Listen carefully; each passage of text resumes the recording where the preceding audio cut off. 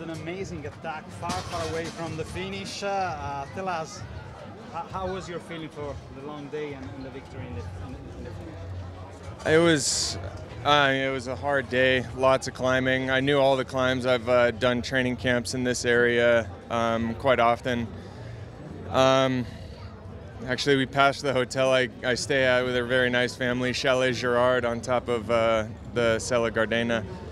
Um, yeah, it's just ama an amazing feeling. Uh, um, Landa and I got away on a descent right before the finish. We looked around and we saw that we were with two, and we're like, okay, let's let's keep going. You you knew you could uh, outsprint him, or what did you think before the sprint? I knew it was a downhill sprint, so I knew it was better to come from behind. Um, but that being said, it's uh, I don't know. It is difficult because it's. Uh, Landa's very quick to the line, and I'm not known as being the best sprinter, but I, I just tried playing it tactically. You came, you came here with different ambitions. Uh, does this pay you back of everything, or will you try again for the GC in a Grand Tour?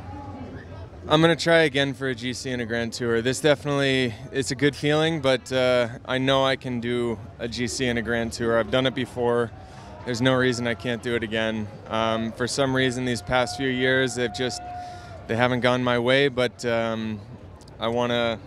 I'm going to try to get it back on track and, and fight again another day. what happened? How do you explain? Okay.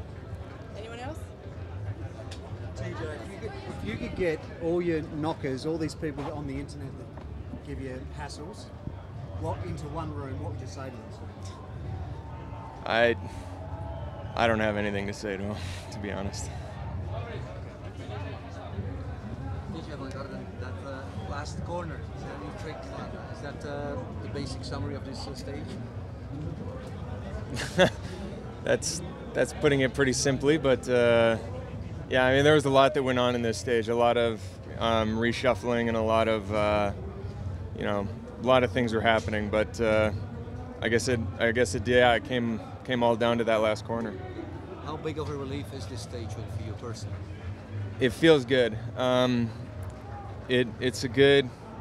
It's good to know that I, I'm still capable of of doing a ride like that, and now I just have to get it, put it all together into three weeks, like I've like I've done in the past, and like I know I can do again. If you say you think about GC in the future, what Grand Tour are you thinking of in the near future? Um, as of now, the tour is not on my schedule. Uh, I I don't actually really know what my schedule is for the rest of the year, but I think I'll I'll be at the Vuelta